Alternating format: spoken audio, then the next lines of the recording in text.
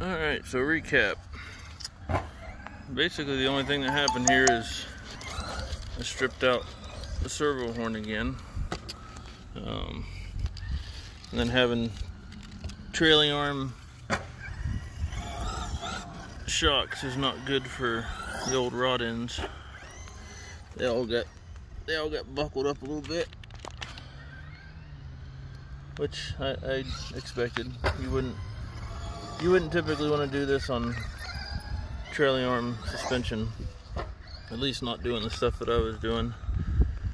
But uh, at least she held up.